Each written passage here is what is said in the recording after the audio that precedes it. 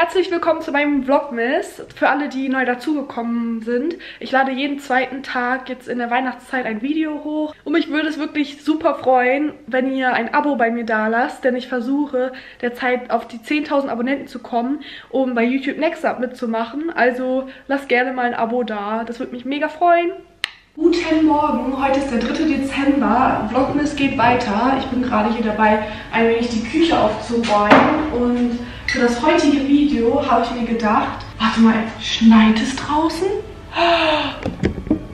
Warte, da muss ich jetzt mal ganz kurz schauen. Kurze Unterbrechung. Es regnet irgendwie. Aber ich könnte schwören, dass... Ich glaube, es schneit. Also ich bin ja gerade in Berlin und ähm, ich habe wirklich gesehen, dass es minus 3 Grad gestern war. Ich weiß nicht, ob man das auf der Kamera erkennen kann, aber das sind so ganz, ganz kleine weiße Partikel. Und ich glaube, das ist Schnee. Das ist ja immer einfach der perfekte Start in den Tag. Ich habe mir nämlich für heute und morgen überlegt, dass ich so ein paar Dinge machen möchte, um mehr in Weihnachtsstimmung zu kommen, weil es ist nämlich schon der 3. Dezember und ich habe das Gefühl, ich bin immer noch nicht so wirklich in Weihnachtsstimmung. Deswegen muss ich auf jeden Fall dann noch ein bisschen dran arbeiten, obviously. Alright, aufräumen ist auf jeden Fall jetzt fertig und jetzt werde ich erstmal mein Frühstück zubereiten.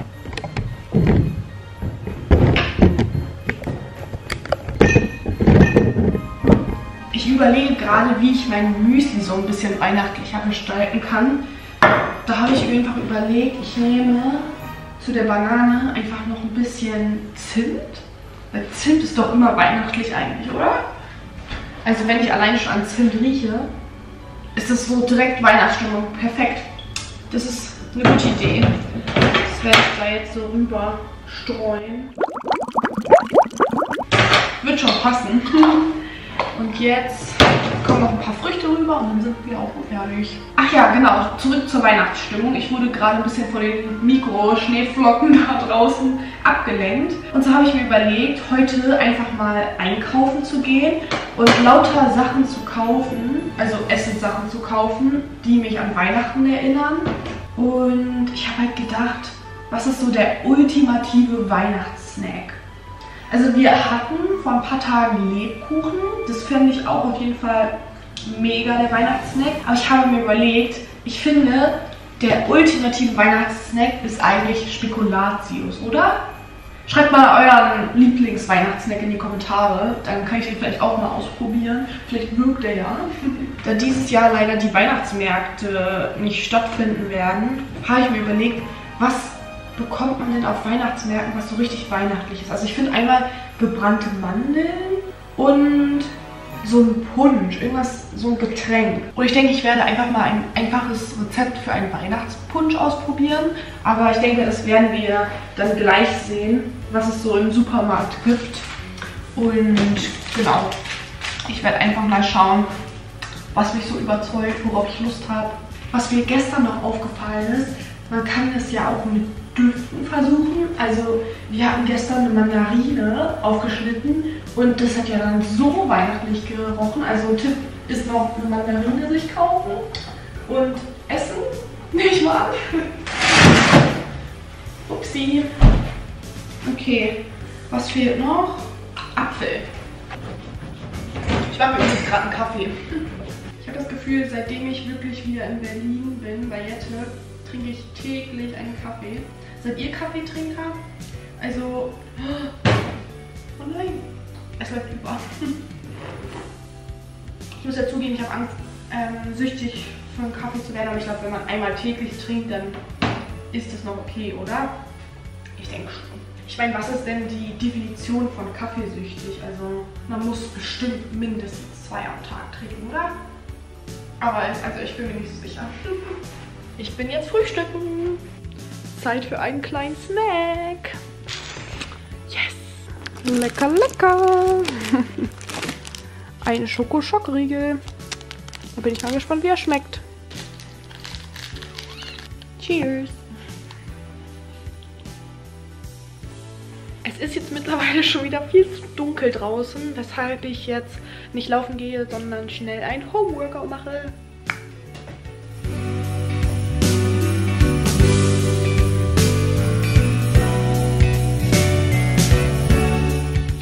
Workout. Ich mache mir jetzt auf den Weg einkaufen und Paket wegbringen.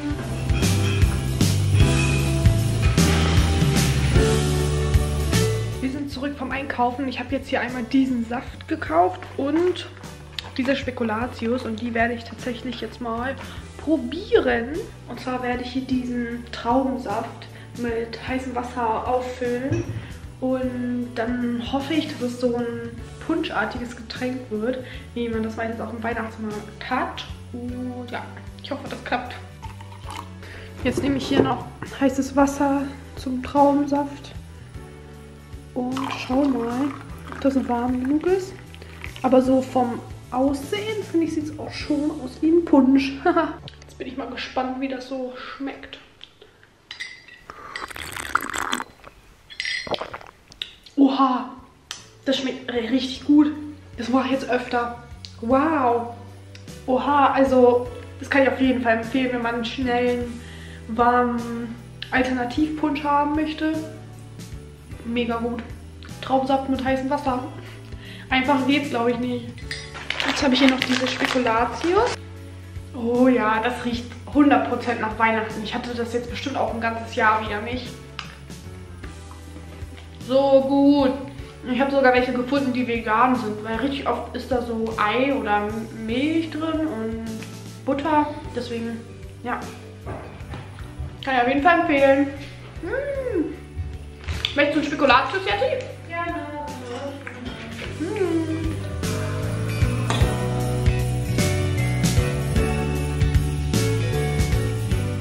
Guten Morgen, heute ist der 4. Dezember und ich bin gerade dabei, schon eine Acai-Bowl zu machen. Und zwar nutze ich hier einmal dafür das, ups, wäre es mir fast auf die Hand gefallen, das Acai-Püree von Pamela Reif. Dann habe ich schon hier eine ganze Banane reingetan in den Mixer. Und dazu kommt jetzt noch eine Avocado und Blaubeeren. Die Avocado kommt da rein, damit das alles so ein bisschen mehr geschmeidiger ist. Das tue ich immer ganz nach unten in den Smoothie-Mixer, damit das alles ein bisschen einfacher ist zu mixen. Ach, und beim Acai-Püree warte ich immer noch so eine halbe Stunde, bevor ich das in den Mixer tue, beziehungsweise bevor ich den Mixer anstelle, denn das Acai-Püree ist ganz schön gefroren, deswegen ja, lasse ich das immer noch so ein ganz bisschen weicher werden, damit der Mixer das auch schafft mit dem Pürieren. Das gleiche bei den Heidelbeeren bzw. Blaubeeren auch den Moment, wenn man vor dem Kühlschrank steht, aber vergessen hat, was man rausholen möchte. Ach ja, Toppings. Wenn man die Acai-Bowl-Masse dann nämlich fertig gemixt hat, kommen noch Toppings drauf, wie zum Beispiel noch ein paar Blaubeeren, Banane, dann kann man noch Chiasamen drüber machen, Kokosraspeln und so ein bisschen Granola, also so Knuspermüsli und dann sieht das alles noch ein bisschen schöner aus und du kannst auch mehr genießen. Ich habe den Mixer jetzt mal angemacht, aber der ist ganz schön laut, deswegen hört man immer nichts. Ich bin jetzt vom Duschen wieder zurück und Jette hat gerade die Bowl fertig gemacht und schaut mal. Yum. Ich zeige euch mal, was da jetzt für Toppings drauf sind. Blaubeeren, dann Banane, ein paar Himbeeren, dann haben wir hier noch so ein Nussmus, also wie Peanut Butter und darunter sind dann auch Chiasamen und Kakaonips. So sieht dann die fertige Bowl aus. Hui! Ich bin gerade tatsächlich dabei, mein Video zu bearbeiten, also das, was ihr hier gerade seht. Und ich habe gerade mega Hunger bekommen, deswegen ist es, glaube ich, jetzt Zeit für mich, meinen Adventskalender-Snack zu mir zu nehmen. Deswegen werde ich den jetzt mal ganz schnell holen. Und gönne mir einen Riegel oder was auch immer drin sein wird. Ich weiß es nicht. Es ist immerhin noch eine Überraschung, nicht wahr? Hier ist die 4. Äh, heute ist nämlich der 4. Dezember. Oh. What is this? Oh, okay, es ist... What, what is that? Bin ich mal gespannt. Es ist kein Riegel, aber es ist auf jeden Fall auch so... Oha, es ist richtig hart. Vielleicht stand das ein bisschen zu lang neben meinem Fenster. Da ist ein bisschen kühl. Schaut mal, das ist halt kein Riegel, sondern es ist einfach in so einer kreisrunden Form. Und ich habe da gerade schon versucht reinzudrücken. Es ist echt schwer. Also ich glaube, es ist ein bisschen gefroren. Und ich glaube, es hat sogar eine Himbeerfüllung. Naja, ich werde es mal ausprobieren. Ich muss sagen, es ist auch lecker. Es schmeckt nach Kakao, es schmeckt nach Himbeere und es schmeckt nach Vanille irgendwie. Jetzt kann ich mal weiter schneiden. es ist einfach draußen gerade so kalt, das ist einfach minus 3 Grad, deswegen machen wir jetzt noch schnell einen Tee.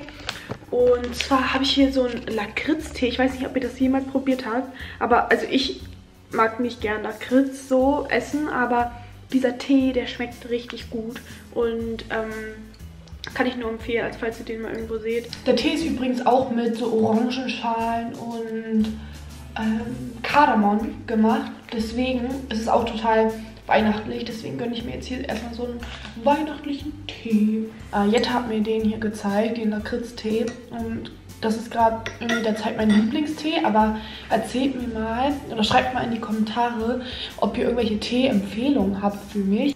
Also ich bin eher so Team grüner Tee, schwarzer Tee. Ähm, also es gibt ja natürlich noch Früchtetee. Jett und ich machen uns jetzt auf den Weg nach draußen, denn wir haben richtig Bock auf ein Banana Bread und wir müssen einkaufen. Ja genau, zwei Fliegen in einer Klappe. Wir haben ja schon mal das Haus verlassen. ne?